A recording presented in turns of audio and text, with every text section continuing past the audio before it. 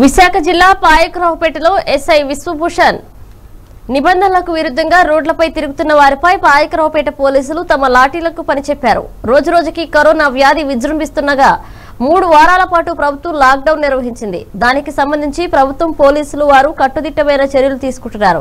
ఆరు బయట ప్రజలు గుంపులుగా ఉండరాదని ప్రజలు పోలీసులకు సహకరించాలని పలుసార్లు మైకుల్లో అనౌన్స్మెంట్ చేసినా అయినప్పటికీ కొంతమంది ప్రజలు నిర్లక్ష్య ధోరణితో పోలీసుల సూచనలు పెడచెవిన పెడుతున్నారు. దీనిని గమనించిన పాయకరావుపేట ఎస్ఐ విశ్వభూషణ్ తమ లాఠీలకు పనిచెప్పారు సిబ్బందితో పర్యటించారు.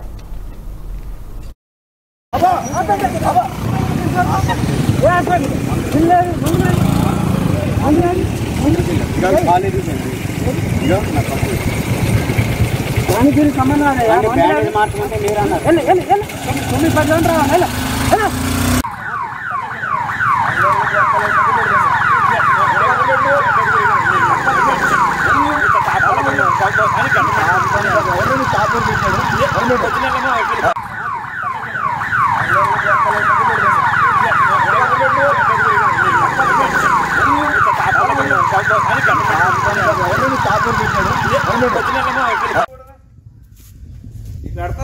వాళ్ళు వస్తారు.